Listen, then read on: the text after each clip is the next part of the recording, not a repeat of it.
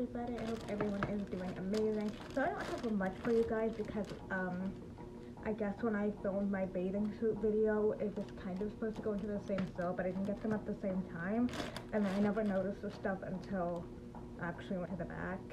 And um, I don't go to the back because I know I'm gonna buy more.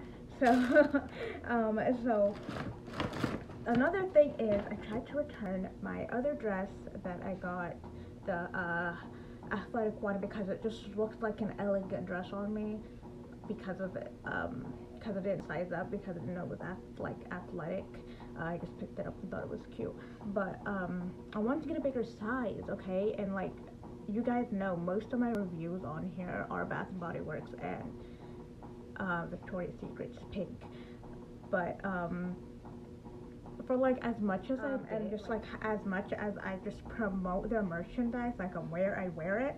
So I go into the store. Listen, I'm wearing a whole like two-piece suit from them and I spent a hundred dollars on this stuff. Yes it was on sale but I still spent a hundred dollars.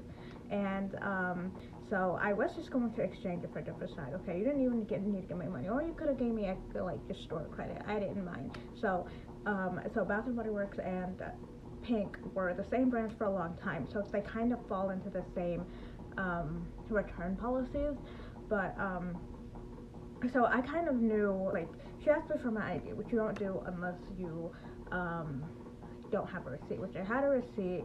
Um, I don't know, maybe she was just new or didn't know what she was doing, but something wasn't right on their end. But my account is blocked. Apparently, I've done too many returns, which is the biggest lie, and it just it made me upset. You gotta do that to me, Pink. But um, I don't know if she if she never, cause I I, I had a receipt. So maybe if she never did the ID thing, it would have went through fine. But I've never did like she said like it's over it's returns for the year and it's like a past 90 day thing which I was on time for the return but um and I've done like one probably like one return this year there so I don't know what the heck is going on but um I hope they fix it and I hope everything is fine but Anyway, so the first thing I have for you guys, the first thing I have for you guys is this purple set that I found last minute on clearance. And there is these, so this isn't my typical purple color, I go lighter, but it was on sale and it's still purple, so it's just like, I'm gonna take it, and I love sets, like I just love matching sets. So we have this one, it is looking a little bit more Barney in the camera than it is in person, but these are the pants, and they say pink down the side, and they are sweatpants, which I normally don't go for. I usually go for like the joggers, like tighter bottoms, and those are on this one. This is actually the second set that I got from there. I'll show you guys in a second. These are the bottoms. I don't know how the bottoms, how I'm gonna like the bottoms. I actually didn't realize that they were this wide from the bottom when I got them, but I'm sure it'll be okay because this one actually looks like a this side, but I'm still wearing it out and then this is the top of it it's kind of just like a crop hoodie and it is fluffy it's not fluffy fluffy but it is soft inside too you can't really see the fuzz but and then the pants are like that as well and then this is my second set it came with the well I bought them both um, separate but it has the um, the top. So, and then these are the pants that I'm wearing with them. And then this is what it says on the side. And then I got my free underwear. Let me show you guys. This is the last rainbow one until I own them all. Which that wasn't my wasn't my goal, but I just love them all. And then um, I was gonna get a different one, but then this one was just like I kind of want it and I need it. And I don't think I have it. And they tell me I have it just because of the colors, but but I don't think so. And then I have like lace little flowers inside of it. Very, very cute. I love it.